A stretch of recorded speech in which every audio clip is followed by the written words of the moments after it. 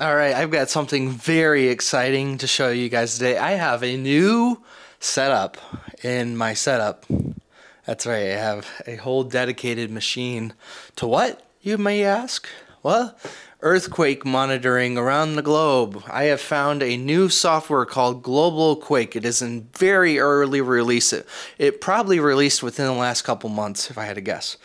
It is so early, but it is such a great piece of software already. But as you can see, I have a 24 inch LG monitor here. It is 1080p, and then I have some Amazon Basic speakers and a computer below that powering the system here.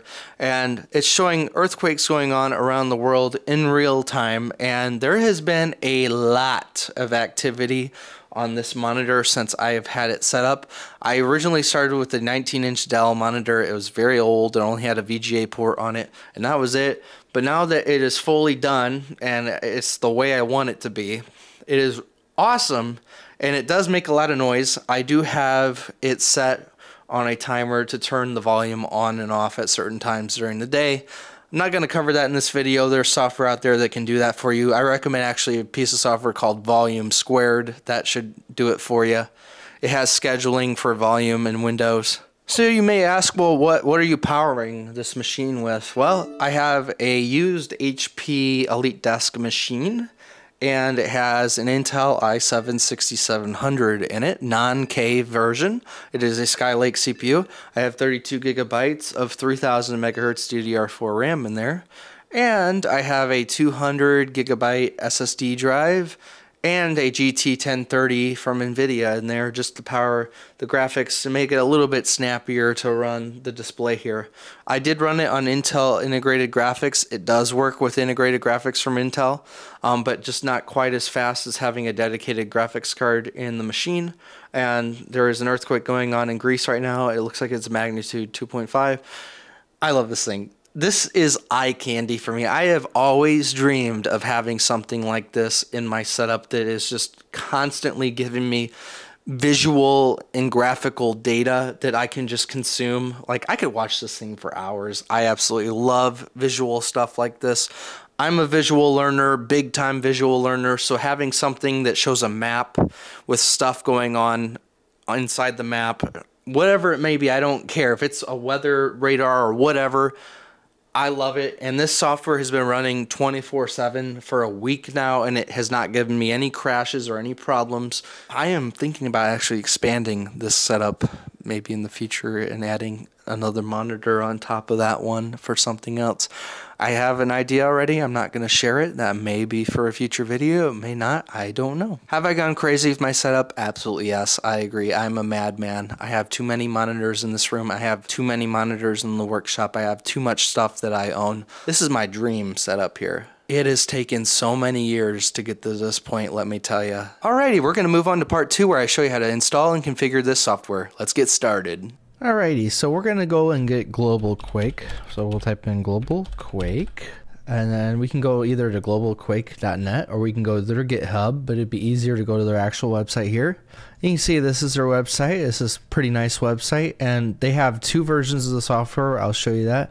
We have Global Quake, and uh, we're going to do the pre-release version. They also have Global Quake servers. I'm not going to get into that in this video. From what I've seen so far, it looks like you can run Global Quake servers on a dedicated machine in your house, and then you can get the client and connect to that machine with the client so that all your resources are being handled by that main server rather than on the client so that it saves performance on your client. I think that's what it's for. I'm not certain 100%. I haven't tested it out yet, and I really don't need to test it out for my use case here. So we're going to go to download here, and we're going to go to download 0.10 pre 18 here. And yep, there it is. So we'll go ahead and open that folder here. We'll go to our downloads folder here. And what we need to do is just basically make a new folder and we can just name it whatever. I'm just going to call it global quake and then we just need to drag that in there because this program runs in just a single folder it doesn't install into your system so I'll just go ahead and take this and we'll close out of the website here and just drag it onto the desktop. If you want to put this in your programs folder or wherever your documents folder wherever you like to keep your programs on your computer put it there. And then once it's there just uh, go ahead and follow the steps here. So I've opened the folder that it's in here and we're just going to launch it here. And we're basically going to go ahead and run it locally. This is going to take a little while here. It's going to download all the sources. All right, so that ended up taking about five minutes, and it will also depend on your internet speed and the performance of your computer as to how long it takes for this to update all the sources. But we're going to go ahead and I'm going to show you what to do next. So what we're going to do is go to select stations here on the bottom left. And then what I just do is I select all. So we'll select all and so there we go. We have 5,022 selected channels. That's about typical for um, what I've experienced so far the last week running this software. So it'll go anywhere between like 5,000 and 5,200 state stations at any given time. And some stations will go offline and come back online for whatever reasons. And so now that they're all selected, we can just close this window. And now you can see it says 5,022 selected channels here. That's what we want to see. If it says zero selected channels, do the step that I just told you. So now we're going to launch Global Quake here. And it has launched. Now, the thing is, the stations will slowly populate on the map here. Right now, it's at about 700 stations populated out of 5,000. It does take some time to populate all the stations, and it does eat up your RAM when it's doing that. So the more stations you're running in the software, the more your RAM's going to be taken up. And for whatever reason, this software only uses like a quarter of the amount of RAM that's actually available to your system. I find that really annoying. I'm not sure how to make it use more RAM for your system. Maybe a future update will allow you to use all the RAM on your system. But for now, I have 64 gigs of RAM on my computer right now, and it's only using 15, or 16 gigabytes of that, which is only a quarter of what I have available to my machine. So um, if you have, for example, 32 gigabytes of RAM, uh, it's only going to use 8 gigabytes of RAM for the software, at least for now. It might not in the future.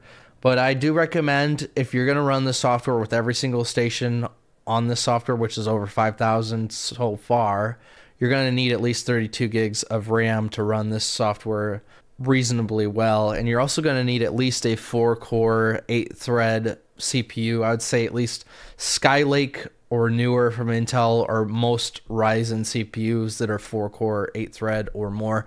The optimal amount of cores for this software is 6 cores or 6 cores and 12 threads.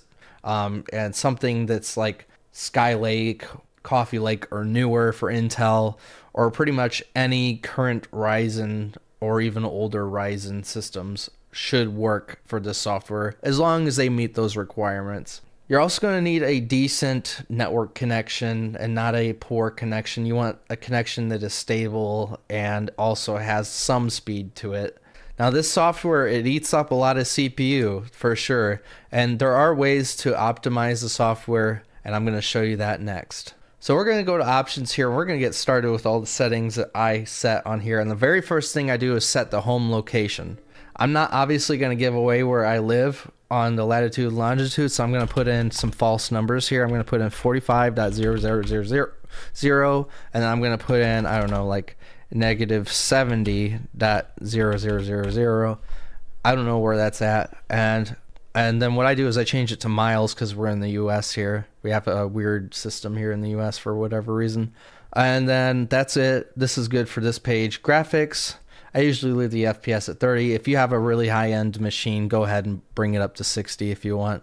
And then I also display technical earthquake data and pretty much leave all these checked here. I disable 24 hours format and then old events here. I usually just leave this default. You can color um, the events, and the events will show up as circles on your display. Basically, the bigger the circle, the bigger the quake. Also, you can filter it by circle color. So like you can either go by color by age, color by depth, or color by magnitude. I usually just color by age, and then I leave everything default here. And then pretty much what I do is I do based on sensor type for the shape of the the stations on the map, and we'll get into that a little later. I also enable anti-aliasing. It just makes it look a little better.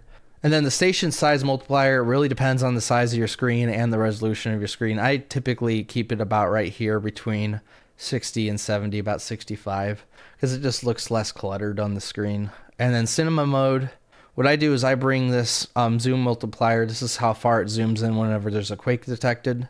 I bring it up just a couple notches here, just so it's a little bit closer. I like to be a little closer to the scene. And then, yeah, that's good here. Everything else is good. Alerts, this is important. If you have your home set on here, you're going to want to um, let it alert you if there's an earthquake nearby. You don't have to do it, of course, but I like it a lot. I like it when it does that. So basically, it will alert you and how many miles or kilometers away you are from the epicenter. I'm going to make this about 500 miles for the local area and then the magnitude at which earthquakes will be alerted i change this to 0.1 because i like to know exactly where all of them are happening at any given time i don't i'm not bothered by the noises or anything i'm used to it and then the regional area this is kind of the area outside your local area i change this to about 750 or 800 um, that would be perfectly fine and then basically the global this is um, the magnitude it needs to be reached in order to alert you on screen that there's an earthquake.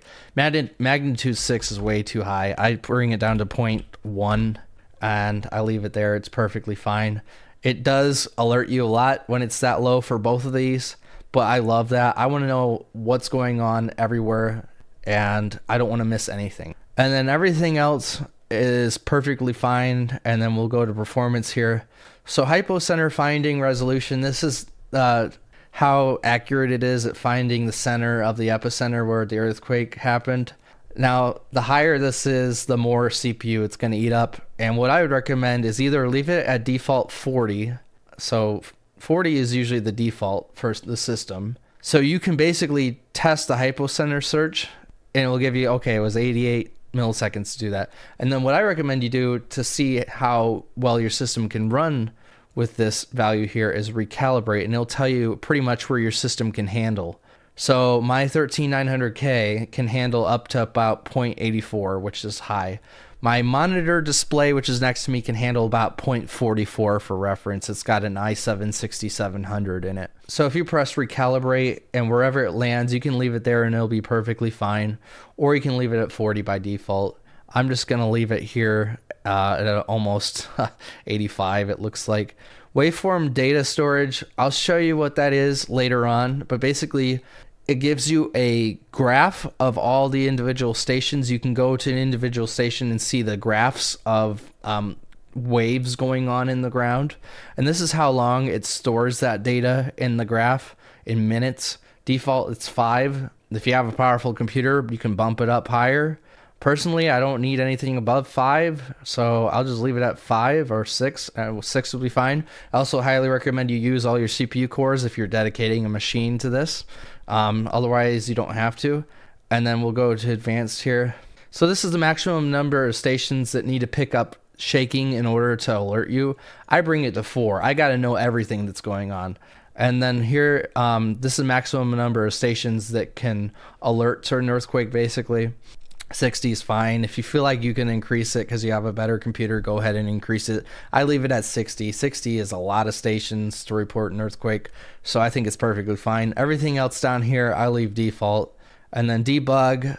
So here are some things you can turn on. Clusters basically shows the clusters of stations that are reporting a earthquake and it shows up as a white square on your screen I really don't see any point to that, so I leave it disabled. And then display stations assigned to clusters. Basically, any stations that are detecting shaking and put an epicenter on your screen will it will show all the details of each station. In my opinion, it clutters up the screen way too much, so I leave it disabled. And then enable earthquake reports. For whatever reason, I was able never able to find this folder um, when I had it enabled for a couple days, so I ended up disabling it and then show um, PKP and PKIKP waves. I enabled it, but I didn't see any difference on screen as to what it does.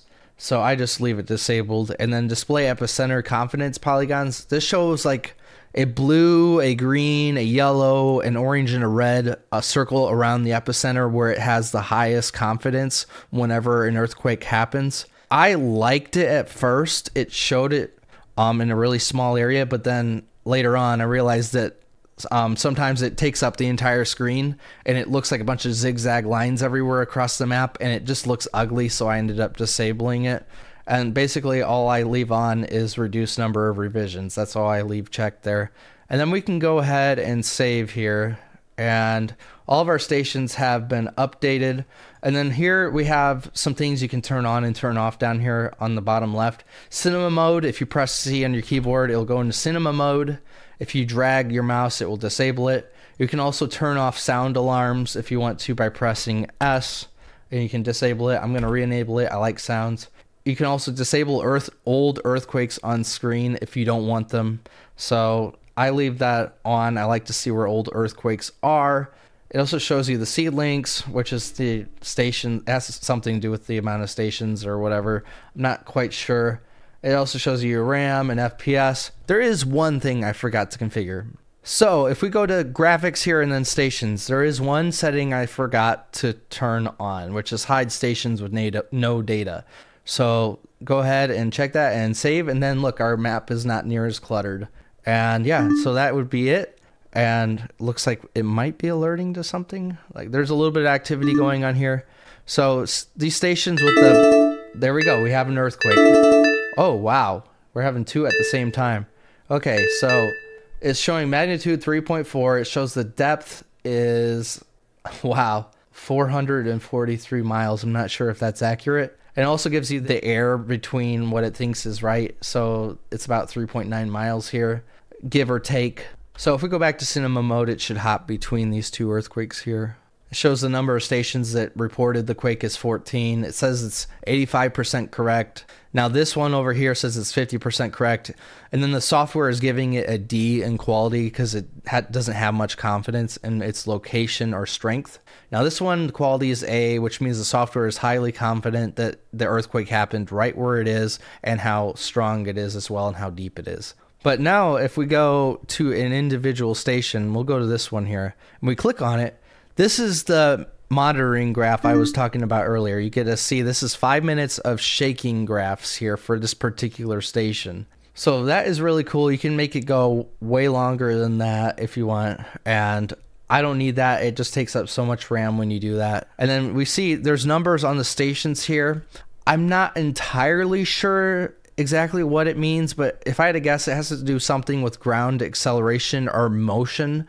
So I'm assuming the higher these numbers are on the stations below the triangles, the more the ground is moving or shaking. Um, whenever there has been earthquakes in the past, these numbers tend to go really high, like thousand plus sometimes. 2000 plus.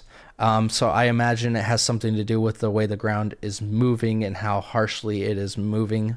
So if we go here, let's see, this one, it's at 43, and then the ones nearby are like 6.4 and 2.1. So it does have something to do with that, I do believe. And then also on the right here, we have the list of earthquakes that have been confirmed on the map here. They will show up in a list here on the right side of the screen, and it will build over time of course. And then your most recent quakes will be at the very top of the list. And there's a couple more things I want to mention here last before we go to the next segment. So this little pink cross in Maine here is your home location. The pink cross will always be your home location, at least until the software changes it to something else. Now, another thing I want to talk about is the color of these triangles, or they may be circles if you configure them to be circles, or other um, upside down triangles, whatever it may be. So dark blue would mean that th there's pretty much no shaking going on at the station. Now, the brighter the color of these triangles, then the more there's shaking. So if these like turn a bright green, then there's obviously some shaking going on. If it turns yellow, there's some major shaking going on. If it goes orange, there's some big earthquake going on nearby. And if it's red, then you've got a massive quake of some sort in the region. So basically, these triangles, if they turn colors besides blue, for example, green, yellow, orange, or red, then you've got some motion in the ground. Basically, the ground is shaking if these are lighting up other colors other than blue or light blue. But nobody's going to really fill these blue ones unless they light up like a bright green, yellow, orange, or red color. All right, this has been a really fun topic to explore. I just love this kind of software that's completely free that allows you to just visualize everything in one piece of software. So simple to set up, at least for me. I figured it out pretty quickly how things were working in the menus and settings. So it's pretty self explanatory, I would say, and I highly recommend 10 out of 10 that you check this out. It is a cool piece of kit to have in your setup for sure. And you can run it on pretty much any modern computer these days. So hopefully that shed some light on how to get the program set up and installed and hopefully I made it simple for you guys to understand and follow along and hopefully you found it entertaining and informative as always. I am probably going to be taking a break from my channel for a while now. I need kind of some time to recuperate. I'm just getting over being sick like four or five times in a row. I I need to rest a little bit for sure. Uh, I've just been through a lot since um, just before Christmas. The last couple months I've been sick so much.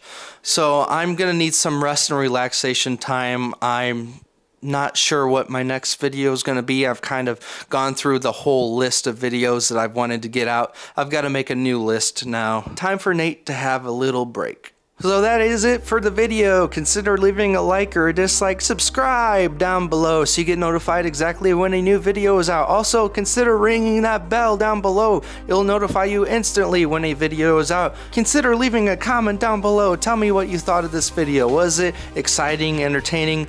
Are you in love with the software? Did you even know that this kind of software existed? Let me know. Tell me if the video needs to be improved. Tell me if anything needs to be adjusted in the video. As always, tell me why you dislike this video. Please, please tell me why. Also consider sharing this video on your favorite social media platforms, that is greatly appreciated. And if you really want to contribute to my channel, you can become a channel member for $5 a month, or you can also go to my About page. I have donate links for PayPal and Cash App. I also have a Discord server if you really want to join, it will be on the About page as well. And that's it for now. I will see you guys later. Bye for now.